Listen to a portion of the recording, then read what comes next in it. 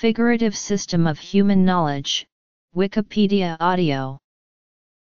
The figurative system of human knowledge, sometimes known as the Tree of Diderot and d'Alembert, was a tree developed to represent the structure of knowledge itself, produced for the Encyclopédie by Jean le Rond d'Alembert and Denis Diderot. The tree was a taxonomy of human knowledge, inspired by Francis Bacon's The Advancement of Learning. The three main branches of knowledge in the tree are memory slash history, reason slash philosophy, and imagination slash poetry. Notable is the fact that theology is ordered under philosophy.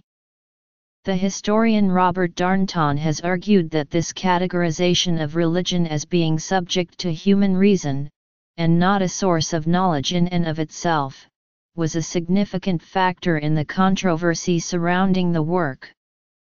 Additionally notice that knowledge of God is only a few nodes away from divination and black magic. The Tree of Diderot and d'Alembert The original version, in French, can be seen in the graphic on the right. An image of the diagram with English translations superimposed over the French text is available.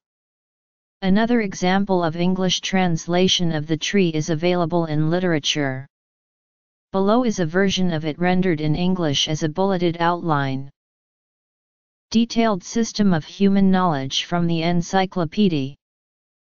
Understanding